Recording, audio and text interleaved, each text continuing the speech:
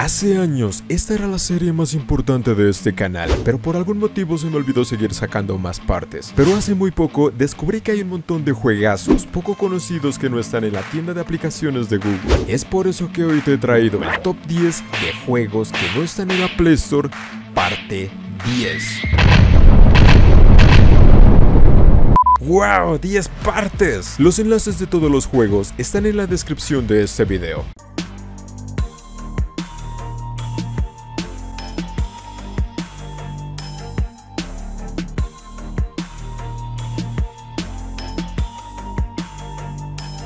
Número 10. Car Accident Simulator. Es un juego de simulación de destrucción de vehículos.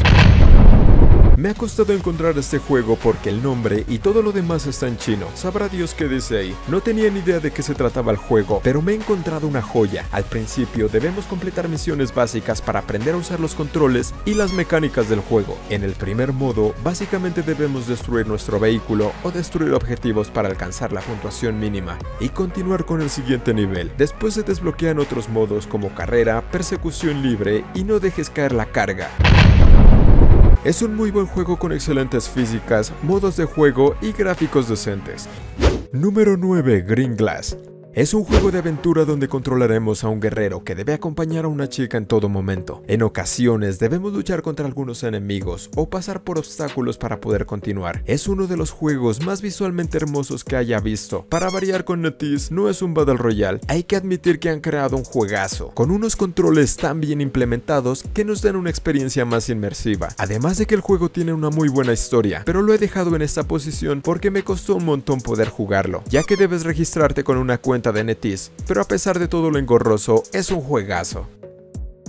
Número 8. Bad Legends. Es un juego que me trajo nostalgia apenas vi de qué se trataba. Es básicamente un clon del mítico Agar.io, un juego que en su momento se volvió viral por lo fácil, desafiante y frustrante que podría convertirse. En este juego debemos hacer exactamente lo mismo, solo que con gatos. Iniciamos en una especie de universo y debemos comer croquetas para poder aumentar el tamaño. En el juego habrá un montón de enemigos que harán exactamente lo mismo, pero el más grande se puede comer al más pequeño, pero el más pequeño se puede mover más rápido, por lo que así el universo se equilibra. Pero debes evitar estas cosas, de lo contrario explotarás.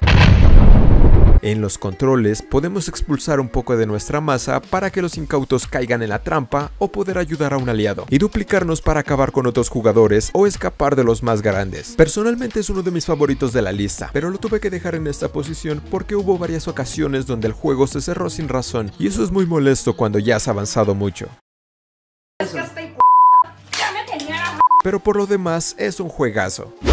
Número 7. Naruto Mobile es un juego oficial de Naruto desarrollado por Tencent y Timi para las plataformas móviles. Lamentablemente el juego no salió de Asia, no requiere VPN, por lo que para poder jugarlo debemos descargarlo de la página oficial o de TapTap y loguearnos con una cuenta de WeChat o Kuku. Al principio me preocupaba el hecho de que estaba todo en chino y no sabía qué hacer, pero el juego te presenta sección por sección de todo lo que te ofrece, por lo que se vuelve fácil e intuitivo de manejar. En esencia, es un juego de combates en 2D donde tenemos varias habilidades para combatir a los enemigos, y entre más avancemos, más personajes y habilidades podemos desbloquear.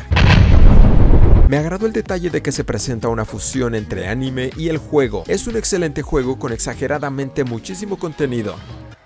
Número 6. Gangster Granny es un videojuego muy peculiar en tercera persona. Nunca había escuchado de esta joya y me ha enganchado por completo. En el juego seremos una inocente abuela que le dispara todo lo que se mueva. No conozco muy bien el contexto de la historia porque aún no juego las entregas anteriores, pero iniciamos en una persecución en helicóptero, pero nuestra nave es derribada en el aire, por lo que debemos llegar al suelo con cuidado y encontrar otro vehículo. En nuestra aventura habrá un montón de oficiales que harán hasta lo imposible por tratar de detenernos, y es ahí donde debemos contraatacar con varias armas que tenemos disponibles, como un revólver, una pistola eléctrica y hasta un bolso. Cuando llegamos a ciertas zonas, debemos luchar contra un jefe, y hasta ahí te voy a contar porque es un excelente juegazo que debes jugar. No requiere de conexión a internet, no pesa mucho y es súper divertido.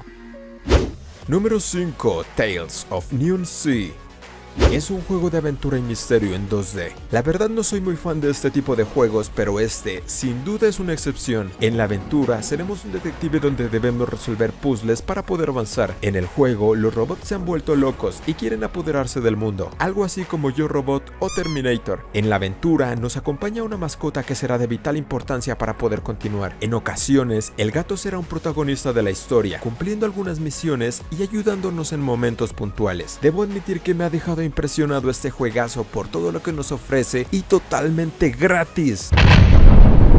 Número 4. Flash Party es un juego de peleas multiplayer donde nos enfrentaremos en combates de 1 vs 1 o 2 vs 2. El juego toma elementos de títulos conocidos como Super Smash Bros, donde nos enfrentaremos en diversos escenarios contra personajes de otros universos. En este caso no sé si sea así porque no conozco a ningún personaje, pero en esencia es un brawler de toda la vida, pero con una muy buena calidad general, es decir, con unos excelentes gráficos, excelentes animaciones, modos de combate, escenarios, personajes, skins y muchos elementos más un sistema de progreso donde seremos recompensados después de ganar cada batalla. Con las recompensas podemos mejorar a nuestros personajes o desbloquear nuevos. El juego es bastante frenético, en mi opinión uno de los mejores del género. Número 3. Counter Speed es un videojuego de sigilo que se lanzó hace varios años atrás en muchas plataformas. Como tal, es un juego de desplazamiento 2.5D con niveles generados aleatoriamente. El juego está ambientado en la Guerra Fría y hemos sido enviados para sabotear los planes de una posible guerra nuclear. Nuestro personaje tiene varias habilidades para poder cumplir con su tarea. Puede moverse rápidamente hacia cualquier dirección, escalar hacia zonas ocultas, atacar a los enemigos de manera sigilosa y también lleva un arma para evitar el combate cuerpo a cuerpo. Es un juego que nos ofrece una excelente historia, un muy buen apartado gráfico y muchas horas de diversión. Número 2. Crossfire Legends es uno de los shooters más completos que he jugado en un dispositivo móvil. Hace años este juego estaba disponible en Play Store, pero lo eliminaron por problemas de copyright. El juego tiene un montón de modos, como el clásico buscar y destruir, duelo por equipos, captura la zona, captura la bandera, modo zombies, un modo parecido a Rainbow Six donde debemos rescatar al rehén o evitar que lo rescaten, y hasta un Battle Royale. Tiene muchísimos ítems de personalización, contenido desbloqueable y muchas cosas más es uno de los mejores shooters que he probado. Una lástima que lo hayan retirado de Occidente, pero aún lo podemos jugar con los enlaces que te dejo en la descripción. Un juegazo 100% recomendado. Número 1. King of Glory es un MOBA online de acción desarrollado por Tencent para las plataformas móviles. No he probado mucho este tipo de juegos, pero este sin duda me ha enganchado por todo lo que ofrece. Puedo decir que es prácticamente calcado a LoL Wild Rift, donde escogemos a un héroe y nos enfrentamos contra otro equipo. La calidad gráfica es simplemente excelente y además el juego está muy bien optimizado. Los controles son sencillos, tenemos el joystick para movernos y los botones para atacar, pero los ataques poderosos les toma un tiempo para cargarse. Cabe resaltar que pese a que los servidores están en China, el juego es muy estable y sin un pin muy alto. Si te gustan los juegos del género, este es uno de los mejores. Eso ha sido todo por hoy, espero que les haya gustado. Un saludote para toda la gente que me pide saludos. Nos veremos en 15 días con un nuevo video. Últimamente he estado creando muchos videos, pero no he tenido el tiempo para editarlos y subirlos. No puedo subir videos sin editar, no es mi esencia. Recuerda que puedes seguirme en las redes como Instagram, Twitter, Facebook y ahora también estoy en Twitch. Recuerda que puedes comentar de qué quieres que sea el próximo video. Y eso ha sido todo por hoy y nos vemos. Hasta la próxima.